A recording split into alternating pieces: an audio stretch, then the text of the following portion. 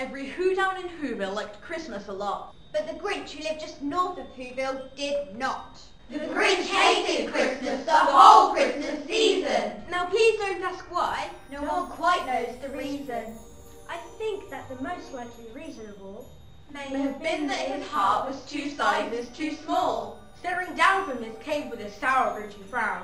At the warm lighted windows below in their town, For he knew every Who down in Whoville beneath. Now hanging on mistletoe wreaths. And they're hanging their stockings. He snarled with a sneer. Tomorrow is Christmas, it's practically here. He growled with his grinchy fingers nervously drumming. I must find a way to stop Christmas from coming. Tomorrow, He knew all the Who girls and boys would wake bright and early would rush for their toys. And then, oh the noise, oh the noise, oh the noise.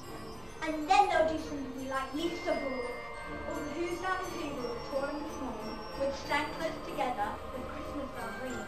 They'd stand hand in hand, And the Who's would start singing. they'd sing and they'd sing and they'd sing. And the more the Grinch thought of this Who Christmas thing, the more the Grinch thought. I must stop this whole thing. Why, for 53 years I've put up with it now. I must stop this Christmas from coming. But how? He got an idea, an awful idea. The Grinch got a wonderful, awful idea. Laughed in his throat. And he made quick Santa Claus hat and a coat. and he chuckled and clucked. What a great Grinchy trick. With this hat and this coat, I'd look just like St. Nick. All I need is a reindeer. The Grinch looked around. But since reindeer are scarce, there were none to be found. Did that stop the old Grinch? No, the Grinch simply said, If I can't find a reindeer, I'll make one instead. So he called his dog Max, And he got some red thread. and he tied a big horn at the top of his head.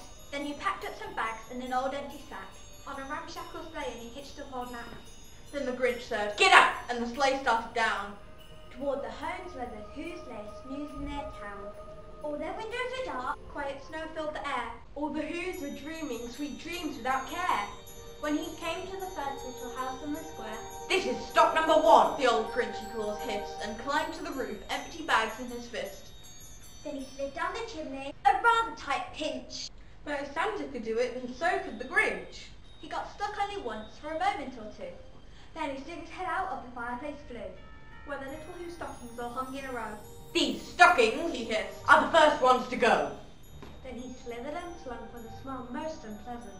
And around the whole room he took every present. Then he slunk to the icebox. And took the Who's feast.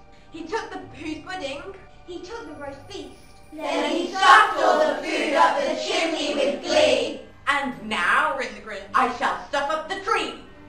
The Grinch grabbed the tree and started to shove. When he heard a small sound like the coo of a dove, He turned around fast and saw a small Who. Little Cindy Lou Who, who was not more than two, The Grinch had been caught by this tiny Who daughter. Who had got out of bed for a cup of cold water.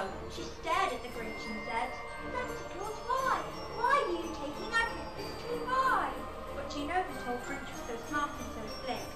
He built up a line and thought it up quick. Why, my sweet little tot, Spake Santa's old eye. there's a light on this tree that won't light on one side. I'm taking it back to my workshop, my dear. I'll fix it up there, then I'll bring it back here. And his fearful the child, then he patted her head.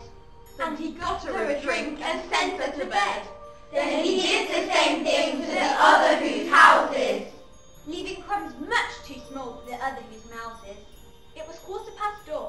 dawn, All the bed, or the Who still a snooze when he packed up his sled. Packed it up with their presents, the ribbons, the wrappings. The tags and the tinsel, The trimming, the trapping. 3,000 feet up, up the side of Mount Crumpit. He rode with his load to the tip-top to dump it. Pooh-pooh to the who. He was Grinchishly humming. Now they're just finding out that no Christmas is coming. I just know exactly what they're going to do. Their mouths will hang open a moment or two. Then he did hear a sound rising over the snow. He started in low, then it started to grow. But this sound wasn't sad. Why, this sound sounded merry. It couldn't be so, but it was merry, merry. He stared down at Whoville. The Grinch popped his eyes. Then he shook. What he saw was a shocking surprise. Every Who down in Whoville. The tall and the small were singing without any presents at all. Somehow or another, orange feet I cold in the snow. Stood puzzling and puzzling. How could it be so? And, he puzzled three hours till his puzzler was sore. Then the Grinch thought of something he hadn't before. Maybe Christmas, he thought. It had bought from a store. Maybe Christmas, perhaps, is something much more. And what happened then? Well, in Whoville they say? The Grinch's small heart grew three sizes that day. And the minute his heart didn't feel quite so tired, he whizzed with his load through the bright morning light he brought back the toys and the food for the feast. And he, he himself, the Grinch, halved the roast beef.